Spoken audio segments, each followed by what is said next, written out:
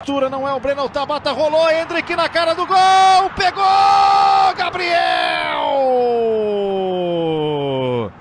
Um contra-ataque magnífico.